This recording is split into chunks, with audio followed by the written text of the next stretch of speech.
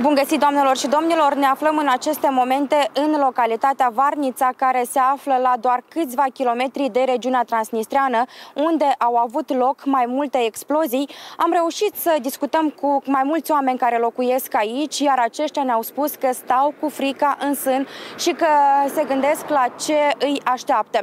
De dimineață, la așa zisul punct de trecere de la Varnița, s-a testat un flux sporit de mașini pe ambele sensuri, Totuși, șoferii cu care am reușit să discutăm ne-au spus că uh, intrările și ieșirile din regiunea transnistrană nu au nicio legătură cu exploziile uh, care au avut loc și că aceștia au venit pe teritoriul controlat de autoritățile de la Chișinău pentru nevoile lor personale.